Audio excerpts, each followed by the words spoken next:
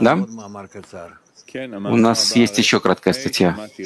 Следующая статья Шамати 225 «Поднять себя». Статья находится на странице 658 в трудах Барасулама и по кнопке «Учебный материал» Шамати 225 «Поднять себя». Спасибо.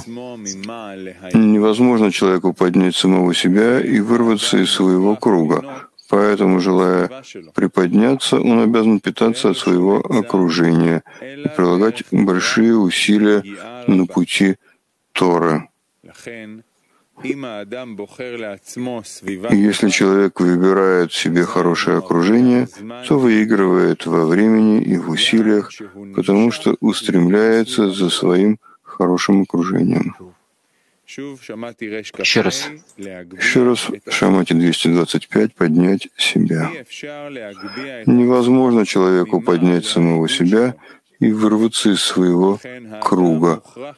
Поэтому, желая приподняться, он обязан питаться от своего окружения и прилагать большие усилия на пути Тора. И если человек выбирает себе хорошее окружение, то выигрывает во времени и в усилиях, потому что устремляется за своим хорошим окружением. То есть и здесь у нас есть результат замечательный очень, который, э, который Творец сделал, э, разбив Келим Адам Решона, когда он сотворил единое желание — упорядочил его, наполнил своим светом, а потом разбил это желание получения на части, дав ему больше желания, намерения ради получения, и тогда желание разбилось на части, и каждую часть, и каждая часть находится в каждом из людей, и тогда выходит, что нам нужно только следовать за окружением, потому что это возвращает нас к, тому самому цельному кли. И нам нужно всегда уподоблять себя э, окружению и выстраивать окружение как в материальном виде, группа, как группу людей, которые учатся вместе. И сверх этого мы начинаем э, расширять себя до духовной внутренней группы когда мы строим мини-Адама, как говорится. И тогда в таком виде мы можем отдать себя этой структуре, которая называется группой, этому мини-Адам решену, мини общему кли. И также из того, что мы предаем себя туда, мы также можем э, впитывать оттуда все силы для развития. Поэтому что он пишет? Невозможно человеку поднять самого себя, то есть подняться выше того состояния, в котором человек находится — подняться выше своего круга, на котором он находится.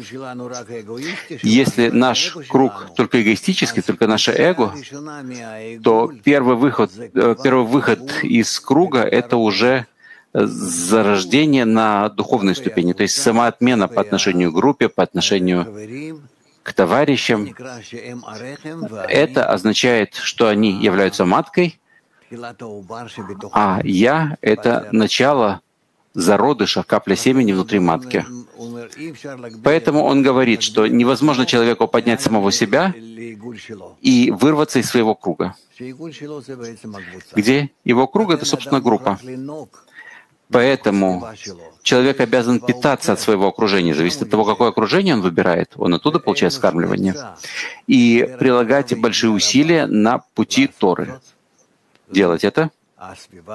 То есть правильное окружение, правильное отношение к нему, знать, как впитывать из, а, от них силы, это все решение для нашего продвижения. Поэтому, поэтому, если человек выбирает себе хорошее окружение, и Рабаш пишет об этом, что такое хорошее окружение, в своих статьях о группе, то он выигрывает во времени и усилиях, потому что устремляется за своим хорошим окружением. Насколько он выбирает свое окружение, в соответствии с этим окружением он развивается. Как зародыш внутри матки. Он развивается в той мере, в которой он находится в слиянии с маткой, но там э, природная сила делает эту работу. А у нас только в мере нашего усилия. И так каждый раз поднимать себя с помощью окружения. Каждый раз окружение представляется все более и более высоким, великим, особым. И в соответствии с этим я могу устремлять себя к Нему. И э, какая действительность форма у моего окружения? Нет у него формы. Только та, которую я даю. Я могу находиться в окружении Раби Шимона и его учеников и не чувствовать, что в этом есть что-то особое. А я могу находиться в окружении своих товарищей, которые такие, как я, и это может быть самое великое окружение для меня. Все зависит от оценки человека по отношению к окружению, потому что за каждым окружением стоит Творец. И в отношении человека к окружению он выбирает меру его связи, форму его связи с Творцом. Понятно? Ну так у нас есть Москва 7. Что значит, что я выбрал окружение?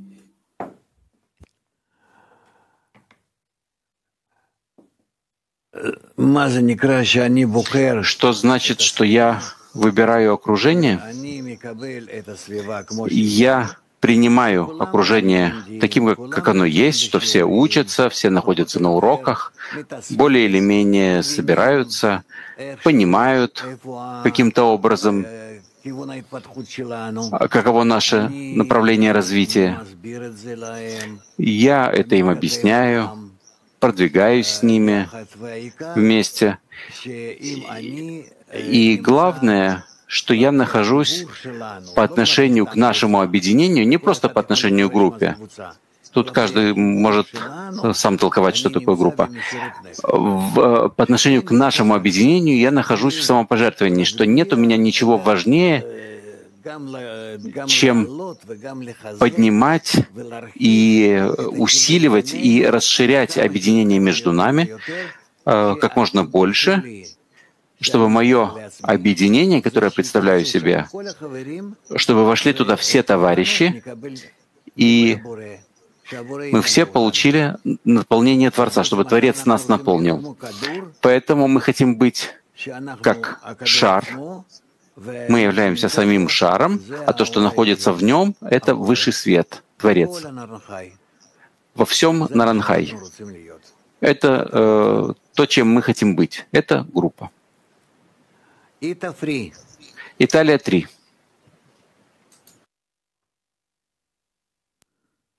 Buongiorno Rav. Eh, volevo ringraziarlo innanzitutto per la visita in Italia. Veramente grazie. Хотел прежде всего поблагодарить вас за ваш визит в Италию. Действительно, спасибо. Я все еще окружен этим теплом после посещения, после визита. Настолько я получил от вас силу, воодушевление, объединение, как от мужчин, так и от женщин.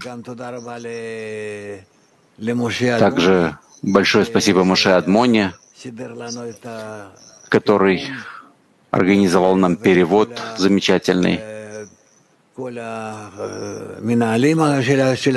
И всем руководителям группы вообще каждому.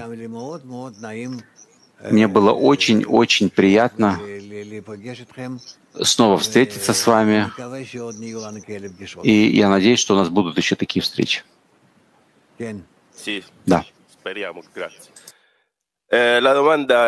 Да, мы надеемся, спасибо. Вопрос, как можно понять это состояние отмены, величия, увидеть его как большим? Что даст мне силы? Должен ли я получить эту силу откуда-то, потому что иначе у меня нет шансов это сделать? Хотя во многих местах мы видим, что каббалисты говорят о желании получения, о нашем эго, как о ненавистнике. И царь Шломо, он был великим каббалистом, он называл желание получения эго ненавистником. Но вместе с тем нам нужно ценить его, потому что это сотворил Творец и поддерживает его. И это стало помощью в противоположности, где без этого ненавистника мы бы не раскрыли Творца как добро. И вообще, в этой разнице между ненавистью и любовью, черным и белым, все, что есть во всех наших обла- областях, во всех наших органах чувств, э, мы не могли бы ничего почувствовать. Поэтому, насколько мы развиваемся, у нас будет больше ощущения как добра, так и зла, потому что между ними мы можем определить отношение к этим двум силам, к добру и злу, как среднюю линию.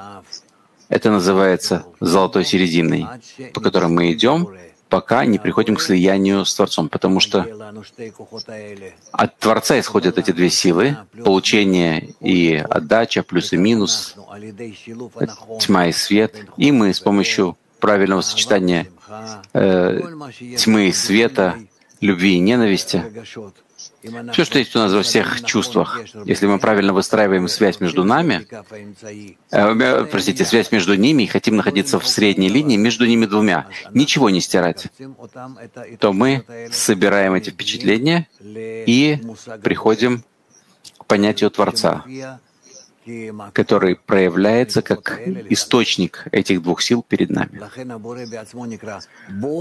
Поэтому Творец сам называется Боре Боуре, иди и смотри. Это когда ты идешь, э, ты проходишь через тьму и видишь свет. Quindi, quindi, devo nutrire il mio ego con la grandezza del creatore, è questo che devo fare, perché io non posso cancellare il mio ego. Так я должен подпитывать свое эго величием Творца, ведь я не могу отменить свое эго. Тебе не нужно отменять эго, не нужно играться с ним, нужно играться только с силой объединения любви. А на эго не обращай внимания.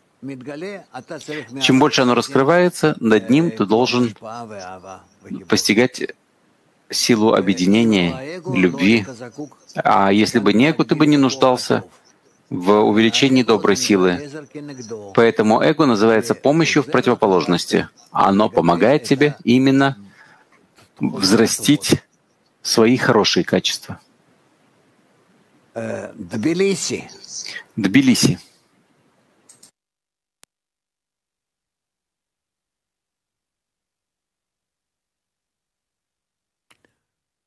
Ну, а.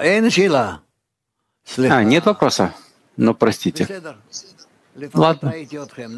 По крайней мере, я посмотрел на вас. Приятно вас видеть. Мак Фри. Мак 3. Да, спасибо. Доброе утро. Раф, скажите, вот мы часто говорим, что мы отменяемся перед товарищами, и нам не важно, маленькие они или большие. А что это за шкала? Что мы такое измеряем, маленькое или большое? Я измеряю это по своему эго. И поэтому нет у этого никакого смысла, кроме того, что я должен отменить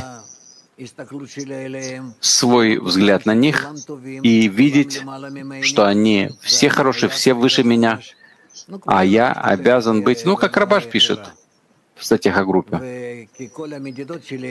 Потому что все мои измерения в моем эго, неважно на какой ступени я нахожусь, поэтому все эти измерения раскрываются, и я должен объявить их непригодными и подняться над ними. Об этом сказано, что глаза у них, но не видят. 5.19. Можно? Можно еще спросить, а, а перед чем именно мы отменяемся? Перед чем мы должны отмениться товарищи?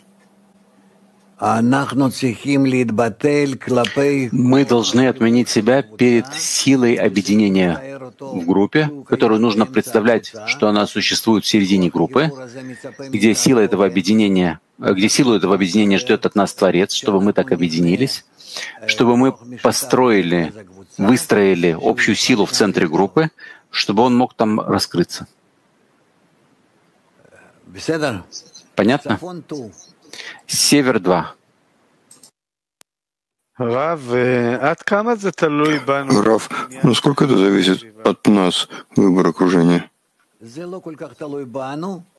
Это не очень зависит от нас.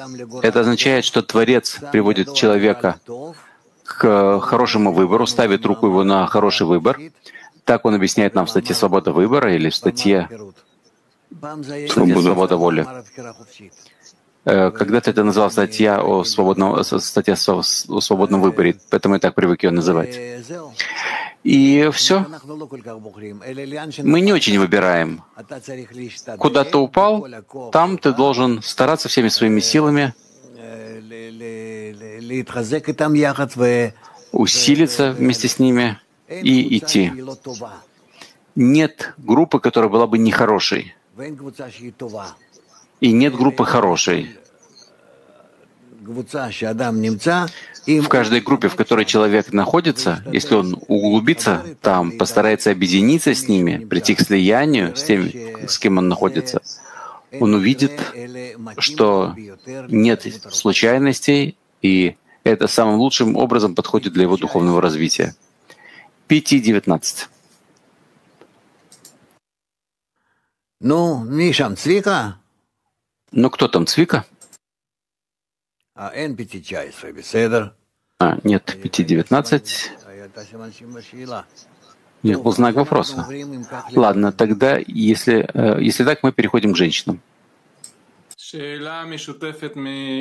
Общий вопрос из Италии и Германии. Что означает питаться от окружения? Что, чем человек питается от окружения? Я впитываю от окружения силы для развития, для воодушевления. Как, как написано о Рабиосе бен Кисме.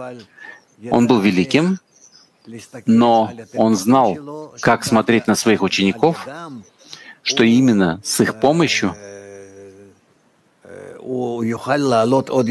он может подняться все больше и больше. Может быть, пока что они пусть подберут нам этот отрывок из э, той самой известной статьи.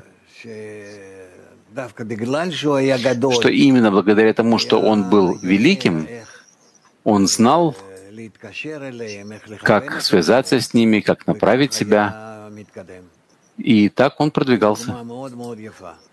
Это очень хороший пример. Но Бальцулам нам дает этот пример. Но она написана за 2000 лет до него. Он написан, этот пример. Нашел? Давай послушаем. Читаем из статьи «Свобода выбора» обязанность выбрать хорошее окружение, обязанность выбора хорошего окружения, сказано пойми слова Раби Йоси бен Кисма, который ответил человеку, который просил у него, чтобы он приехал жить в его место, и он даст ему за это тысячу тысяч золотых динаров, ответил ему Раби Йоси бен Кисма. Если ты даешь мне все деньги и все серебро и золото, драгоценные камни, жемчуга в мире, я буду жить только вместе Торы. Казалось бы, эти вещи слишком высоки для нашего простого мнения. Как он мог отказаться от тысячи тысяч золотых динаров для такого, такой маленькой вещи, что он не хотел переехать в город, где нет изучающих Тору, в тот момент, когда он сам был большим мудрецом и не должен был учиться у кого-то. Большое чудо. Однако, как выяснило, выяснилось, эта вещь очень простая и достойна, чтобы это было исполнено каждым из нас, потому что хотя у каждого есть собственная основа, в любом случае силы не раскрываются на практике, кроме как через окружение, в котором он находится. Подобно пшенице, которая посеяна в землю, и силы пшеницы не раскрываются на практике, кроме как с помощью ее окружения. То есть если мы не находимся в группе, мы не развиваемся. Дальше. Это земля, дождь, солнечный свет. Поэтому хорошо оценил Раби Йоси Бенкисму, что если он оставит то окружение, хорошее окружение, которое он выбрал, и перейдет в плохое и вредное окружение, то есть тот город, в котором нет Торы, мало того, что его прошлые знания испортятся, но и все остальные силы, которые заложены в его основе, которые он еще не успел раскрыть на практике, останутся в своем скрытии, потому что у них не будет больше соответствующего окружения, которое могло бы привести их в действие и перевести из потенциала на практику. И как выяснилось выше, что только свободы выбора оценивается вся власть человека над собой. И ради этого он достоин вознаграждения или наказания. Поэтому нет никакого чуда по поводу такого мудреца, как Раби Йосиф Кисма, что он выбрал добро и остал, оставил зло, и не соблазнился материальными обретениями, как он говорит там, что в момент кончины человека человека не сопровождают ни серебро, ни золото, ни драгоценные камни, ни жемчуга, а только Тора и добрые дела. То есть, в конечном счете, это методика, как правильно прийти к слиянию с э, хорошим окружением. В этом все Тора. Это то, что сопровождает человека. Понятно, да? Ну, я надеюсь, что это подействует еще немножко на мужчин и на женщин. Этого не хватает всем. А продолжим дальше. Да, вопрос из Чили. Я стараюсь все время быть, каждый день быть на уроке. Когда-то подруга сказала мне, тебе ничего не выйдет из того, что ты все время продвигаешься в этом. Все мы должны прийти туда вместе. Неверно, неверно. Это неверно. Э, дальше я даже слушать не хочу. Это неверно. Мы приходим и приходим из группы, но есть такие, которые пришли раньше, есть такие, которые придут после. Мы все пользуемся группой, но в той мере, в которой каждый получает от группы силы. Есть такие, которые подсоединяются один раз в неделю или раз в месяц, или по каким-то праздникам, и в соответствии с этим и продвигаются, или вообще не будут продвигаться. Потому что что можно получить от группы, если я присоединяюсь к ней раз в неделю? Я обязан присоединяться к ним ежедневно. Поэтому вся наша жизнь, она измеряется, под, делится на такие порции. День, день, каждый день. И на каждом, и кажд, в каждый день должен быть мой контакт с Творцом и группой. С вашего позволения, закончу вопрос из Чили. Э, так кто спрашивает, находится на каждом уроке. Ну, десятка меньше, нее немножко меньше продвигается. И она спрашивает, должна ли она идти в своем темпе или в темпе десятки? Нет, она должна продвигаться в э, ритме как можно более сильном, чтобы были у них встречи и с десяткой, чтобы, был, чтобы у нее были и встречи с десяткой, и самостоятельная учеба. Так это должно быть. И так мы будем продвигаться. Еще два вопроса, которые остались. Вопрос из Москвы 8. Как правильно впитывать силы, которые есть в десятке? Как? как правильно впитывать силы, которые есть в десятке. В самопожертвовании. Если я не знаю как, я должен отменить себя, как зародыш перед маткой. И тогда я все получу, как маленький, который находится среди больших. Он только отменяет себя в соответствии с природой, а мы должны это сделать самостоятельно. И тогда в этой мере мы можем получить. Маленький получает от больших. Каждый из себя должен сделать маленького. И Раби Йоси бен Кисма, он сделал из себя маленького по отношению к своим ученикам. Они это не почувствовали. Но это то, что он сделал для того, чтобы получать через них. Потому что он не может получать напрямую от Творца. Но через своих товарищей, которые уже являются парцуфом, он получает от парцуфа. Никто не может получить напрямую от Творца. Никто. Это структура, которая не меняется. Еще? Последний вопрос, Петахтикова 38. Что имеет в виду Сулам, когда пишет, что невозможно возвысить себя выше того окружения, в котором он находится? В чем человек не может возвысить себя? Насколько он отменяет себя перед окружением, в этой мере все, что Творец может дать окружению, он получит. Творец может давать ему до конца исправления. Все зависит от того, насколько он отменяет себя по отношению к окружению. И не важно, что окружение маленькое или большое по размеру, или по ступени, если он отменяет себя, то его отношение, насколько он в состоянии себя отменить перед окружением, даже если бенкисма может себя отменить, получает в соответствии со, ступень, со своей ступенью. Допустим, он был на сотой ступени, отменил себя перед своими учениками, которые вообще не находились на ступенях, или, может быть, на ступени первой или второй.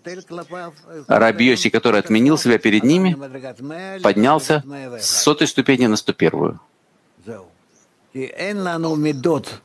Потому что нет у нас таких явных мер э, для группы, только самоотмена человека перед окружением. Э, если бы мы бы увидели саму группу, увидели бы, что она находится в конце исправления. Все относительно между человеком и окружением. А окружение само по себе находится в конце исправления, только мы этого не видим. Ну и мы закончили вторую статью сегодняшнюю и должны перейти к статье какой?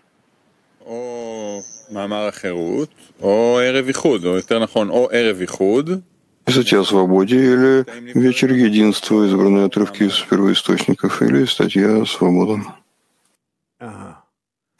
Ладно, понятно. Хорошо. Ну, давайте сделаем. Потому что у, э, у меня написано, главное, чего нам не хватает.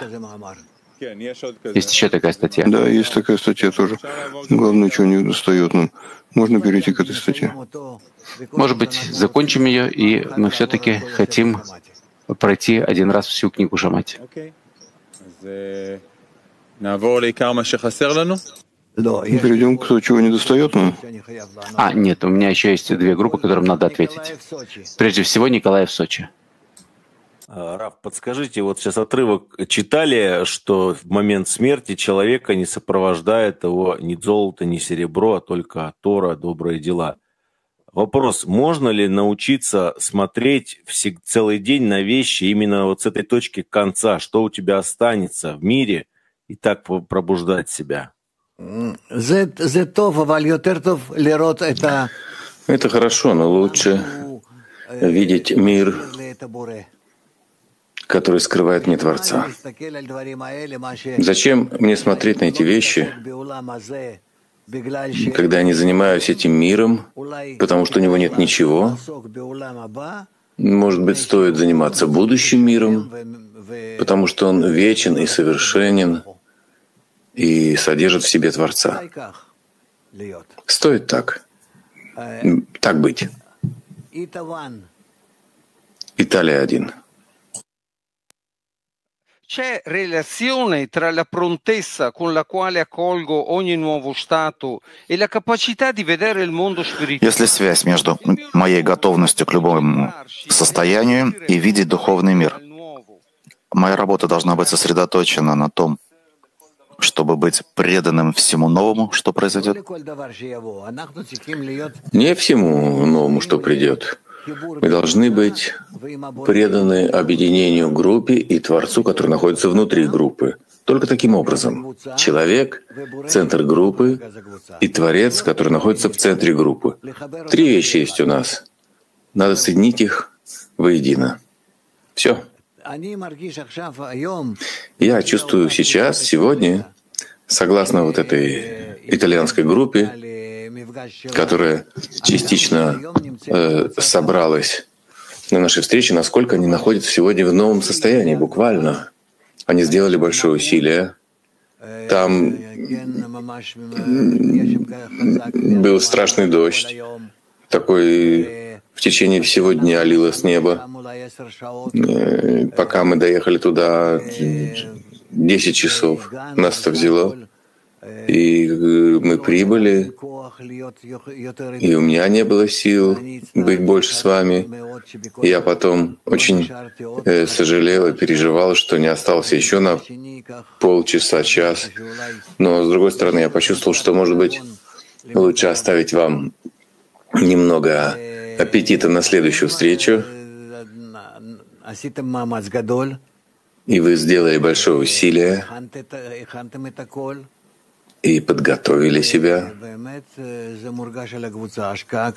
И действительно ощущается по группе такой общий большой вклад, он сегодня ощущается очень. Ну, я люблю вас.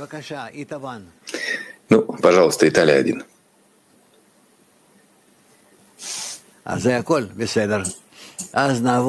А, это все? Хорошо. Перейдем к Ашкелону. Э, Спасибо. В продолжении повествования Раби Йосибенкисма. Почему я должен быть им э, и именно в том окружении сыновей Торы, то, что называется, что в них особенного?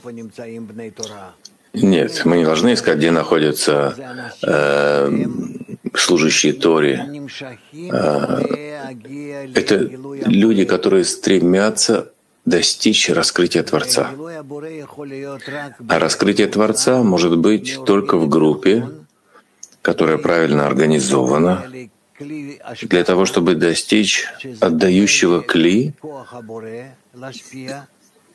И это подобно силе отдачи Творца. И так, согласно закону подобия свойств, Творец раскрывается в них — так же, как и затем мы говорим о десяти сферот. Высший свет раскрывается в десяти сферот. Те же законы. Поэтому это не может быть просто так в какой-то группе, в каком-то месте на Земле, на земном шаре. Это там, где собираются люди, где все хотят достичь раскрытия Творца и готовы для этого объединиться в группу и быть объединенными между собой настолько, пока Творец не раскроется в них. То есть их объединение должно быть по качеству, как природа Творца. И тогда Творец сможет раскрыться среди них. В этом вся наша работа — достичь такого объединения между нами, чтобы Творец раскрылся между нами. И тогда мы почувствуем себя как десять сферот, в которых раскрывается внутренний свет, Орпними. Понятно? Ладно. Ну, сейчас Тбилиси хотят спросить. Ладно, вперед. Здравствуйте. Привет. Меня слышно, надеюсь, да? Конечно. Ну, спасибо Творцу за то, что вот мы встречаемся каждый день. А после Италии мы с удовольствием приглашаем вас. Я бы, я, я, я, бы, я бы уже давно прилетел. Они квараите магия миро мизман или Грузия. А валябая еще... Я бы уже давно прилетел в Грузию. Но проблема в том, что закрыто. Невозможно прилететь. Это всего-то два часа лету. Это ничто. В Италию три часа лета. Легко э, прилететь, но закрыто. Ну, будем надеяться, что это... Да, у нас закрыли. А, у вас закрыли. Да, у нас же... Будем надеяться, что... У нас же новый вирус. Ну да, а, новый штамм. Но... Будем надеяться, что, надеяться, что откроют, и мы с удовольствием займемся всеми условиями, что надо для вашего... Я понимаю ваши сердца, я готов. Вопрос. Вопрос. Ну, а, то, что ощущается а, в нашем нынешнем состоянии, как-то география уже вообще не имеет никакого значения в нашем отношении между нами. Угу. Больше чувствуется мировая группа. Я думаю, что это новая ступень, как это все использовать и ну, что сделать еще нового, чтобы наше действие вперед а, было более интенсивным. Спасибо. Большое спасибо тебе за вопрос, как мы можем еще соединиться над границами. Например, сегодня вечером у нас есть вечер объединения, и мы собираемся здесь. Те, кто могут прибыть в наш центр, но я снова говорю, это не для тех, кто прибывает из-за границы, потому что мы только вчера прибыли, и были у нас э, э, всякие препятствия, пока мы добрались. И сейчас вообще говорят, что э, закрывают э, перелеты из-за нового вируса. Поэтому мы ожидаем, что вы сегодня все будете подсоединены и объединены с нами вечером, э, будете вместе с нами, и потом они скажут нам, как, что и когда точно, и постараемся быть в соединении сердец, что это без границ и без перелетов, а в нашем желании объединиться. И это не меньше, а иногда когда мы видим товарищей издалека, то мы не путаемся а, в, во внешнем проявлении облика, а хотим проникнуть внутрь, вглубь сердца товарища, и это лучше. Поэтому я с радостью летаю ко всем группам, куда могу добраться. Я был уже во всех местах более-менее. Но я не думаю, что это обязательно. Мы объединимся, научимся, как соединяться современным образом, виртуальным и духовным, так, чтобы действительно мы и сегодня вечером будем учить, как быть в соединении сердец над всеми различиями группами, языками, как быть вместе, как ощутить сердце. Для этого не нужно никакое расстояние, которое мешало бы нам, язык, ничего, только желание. Как ты смотришь на человека его глазами, и ты можешь видеть, что есть в нем. И все языки которые начались с разбиения кли, когда люди перестали понимать друг друга. Это все является результатом нашего разбиения. Будем надеяться, что мы поднимемся над разбиением, соединимся, и вечером я жду всех вас. Что мы сделаем дальше? А, у нас есть статья. Да, это из э,